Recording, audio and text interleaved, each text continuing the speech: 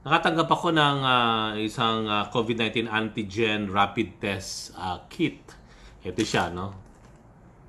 Ayan.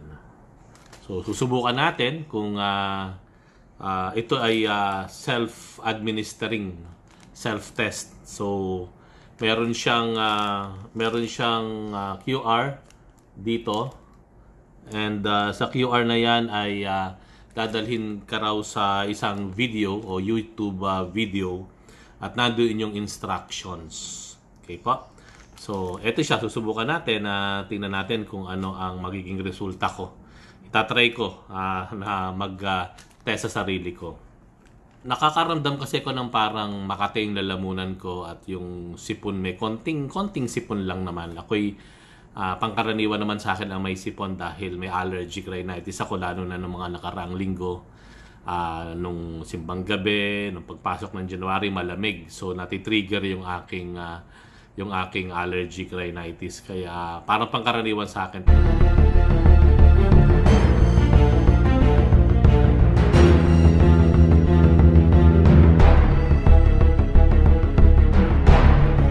So, ang una natin gagawin ay yeah, pupunta ako dyan sa QR code na yan. Um, i-scan ko yan and then ah, panonoorin ko yung video sa YouTube na sinasabi at ah, pag-aaralan natin kung paano ito.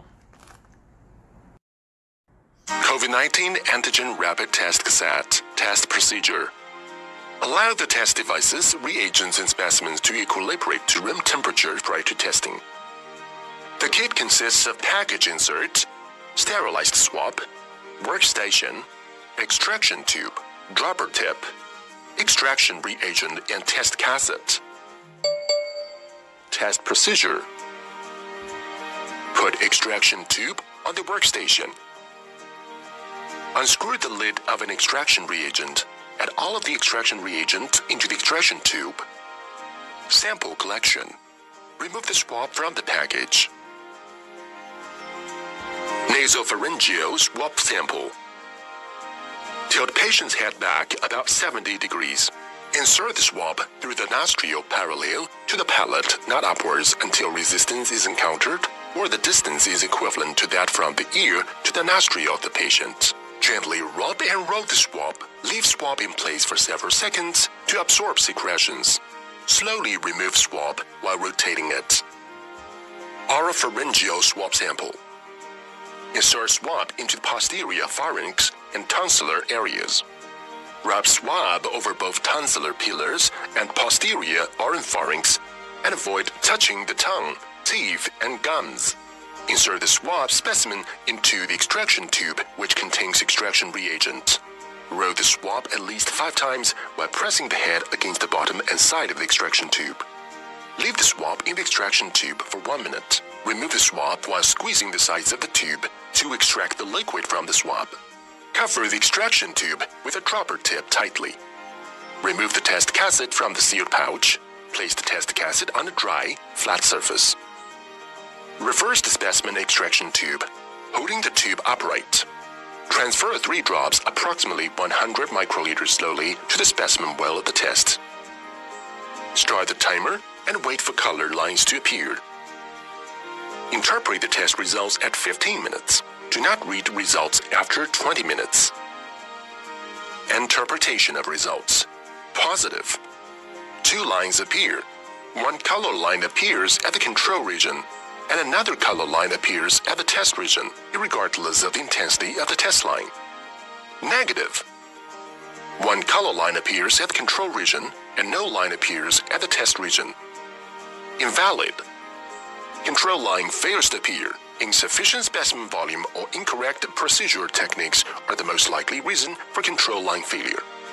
Review the procedure and repeat the test using a new test cassette. The used test cassette should be discarded according to federal, state, and local regulations. Gagawin ko po ito, disclaimer lang, ito po ay para lang po doon sa test kit na dumating sa akin o binigay sa akin. At according dun sa video na um, uh, sinuggest o na prescribe nitong test kit na ito na pinanood ko. So, I don't, di ko po alam kung ito ay applies to all ah, the test kit pero ito po yung gagawin ko according doon sa prescribed instructional video nitong test kit na ito.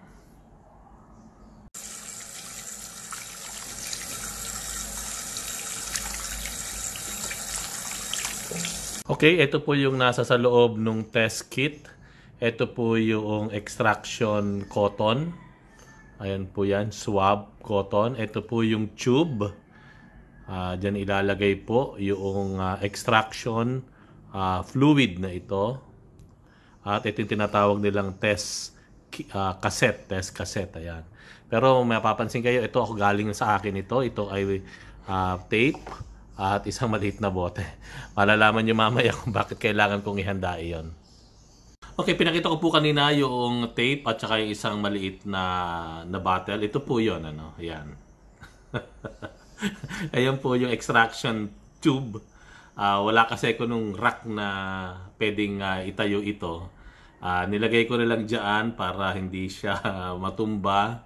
So, while ah, ah, waiting na makakuha ko ng specimen sa aking bibig, ay nandyan na yon Ah, lalagay ko na rin yung, ah, yung, yung fluid, yung, yung liquid. Okay? At least, ah, naka ano na siya, fix na siya at ah, hindi matutumba. Ika nga, sige. Okay, sisimulan na po natin. Ano? Ito na yun, yung tube, ah, extraction na tube. So, bubuksan ko na po siya. Meron siyang takip. No? May takip siya. Ayan. So, bubuksan ko na po siya. Aha. There you go. Yan, bukas na po. So, ilalagay ko na po itong uh, itong ah, kasama po sa kit ito. Gaya po dun sa nasabi dun sa instructional video, ah, sa ilong pwede at saka sa bibig. Ang totoo niya, nakakadalawang beses na po akong ah, swab test sa ilong.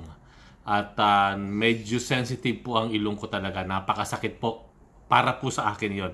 Maybe yung sa iba, madali lang po sa kanila. Pero sa akin po, ay napaka-sensitive po talaga ng ilob, loob ng ilong ko. Kaya hindi ko malilimutan yung dalawang beses akong na-swab ah, na da, last year. Ano? Kaya ngayon, ayoko po kung baka hindi ko po kayanin mag-isa na gagawin ko ito. Kaya pipiliin ko po yung sa bibig, yung ipapasok po sa bibig. I think mas kakayanin ko po iyon kaysa dun sa ilong. Ayan. Pero wala naman sinasabi ano yung pref preference nitong ah, ah, nitong ah, test kit na ito. Yung dalawa yung dalawa pong iyon ay dalawang options po na sinasabi dun sa prescribed na video video. Tumasagi pa rin sa isip ko yung yung test sa ilong na nangyari sa akin. Yung kinakabahan po ako. Pero magiging maingat na lang ako dun sa bibig kasi sabi doon wag daw tatama sa gums, sa teeth at saka sa tongue. So, I think kakayanin ko po yun hanggang kahit kaduluduluhan siguro dito ng aking lalamunan o dun sa kaloob-looban ay ah, palagay ko kakay mas kakayanin ko po yung kesa dun sa sa ilong po. Ayan. So, hindi ko hindi ko alam ano mangyayari. Ah, ito naman ay para rin para rin sa ah, you know, maaari makadagdag ng konting ah, kaalaman o tips din dun sa mga magsisimula ng mag ah, self-test. Okay. Ayan. And then, ilalagay po doon sa sa tube yung fluid. Ayan po. Piniga na po natin ng ubus na. Ubusin natin. Sayang. So, ayan na po. Meron na po. Nandun na sa loob siya. Napapansin niyo po yan. Tatakpan ko muna po. At ah, ito na po. Wala nang urungan ito. Ito na po yung...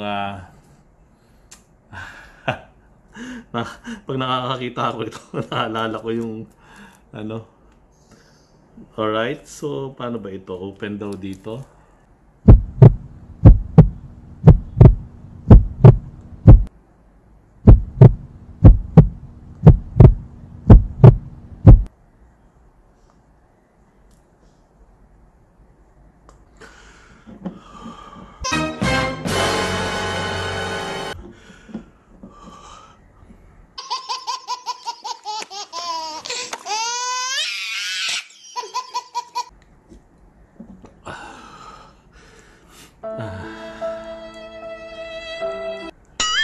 Lima daw po, limang ganoon. Ilulubog po. And then pagkatapos po ay ah, ah, tatanggalin. Yan po, tatanggalin na siya dyan. Ah, tanggalin na po yan habang. And then, ah, tatanggalin na rin po ito.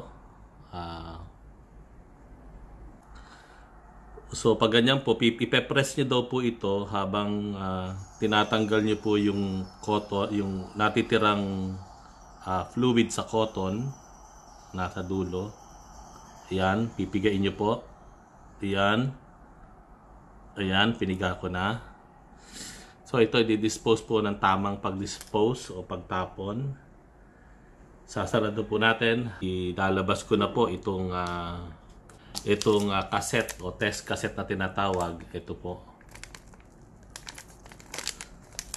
Ah. So ito na po yung test cassette na tinatawag nila. Ayan po. So ilalagay daw po sa flat surface yan. Ilalagay ko na rin po. At pagkatapos ay ah, lalagyan natin ng 3 drops na galing po dun sa extraction tube. So kailangan i-drop siya ng 3 drops daw po dito. So 3 drops. That's 1 2 and 3. Ayan po. So, we have start the timer. Hintayin po natin ng ah, 15 minutes. Ayan po, 15 minutes. Medyo matagal po iyon.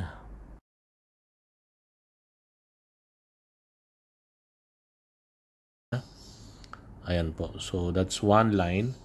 Kung mapapansin niyo po yung C at saka T. C is the control line at saka T yung test line. Kapag walang ah, linya po yung control line, meaning invalid po yon. Siguro ah, na-alter o hindi masyad nagalaw yung test kit o kaya may nagawang may nagawang mali na proseso at ah, yan po. But meron siya, so valid po siya. It's a, kaso, ay, wala nga po, wala yung T is test line. So wala pong pink line doon. So walang, hindi siya double line na magsasabing ako ay positive. Ah, so negative po ako. No? Salamat sa Diyos. Salamat sa Diyos. Thank you Lord. Pero of course, ah, ingat pa rin po. Yun ang kabilin-bilinan po sa atin. Ano? Ah, ah, kailangan pa rin mag-ingat. Ah, negative. ah, ito yung mga pagkakataon na gusto mo ikaw ay negative na tao pagdating sa, sa sa test no ng COVID. But again, sasabihin ko po at laging paalala sa atin, hindi komot ah, wala tayong symptoms ay ah, carelessly na tayo ay makiki you know magbababa o tatanggalin natin yung mga minimum health protocols. Paalala lamang po lagi sa atin 'yon. Keeping ourselves safe is keeping also others safe. Ayan. So yan po ang ah, napakaganda no. Ah, napaalala sa atin. Eh, totoo naman 'yon ano. Kaya nga sabi ni Lord, love others as you love yourself kasi kailangan pong mahalin din natin ang ating sarili. And ah, by loving ourselves, especially at this time is also loving others because taking care of ourselves is taking care of others. Not just yung family natin or relatives, but the rest of the people in the community ah, sa barangay, no, sa ating lipunan ay magiging safe. So, again po, ah, ulitin ko, ito pong ginawa kong test ay ah, procedure, ay hango po dun sa prescribed video po noong ah, nagmanufacture ng test kit na ito na pinadala sa akin. Okay?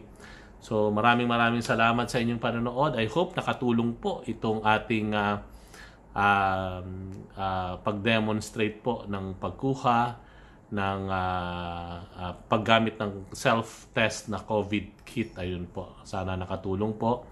At um, uh, please prescribe on our uh, uh, please prescribe please subscribe in uh, my YouTube channel uh, Paring Kulet para konting silipin ang buhay pagpapare.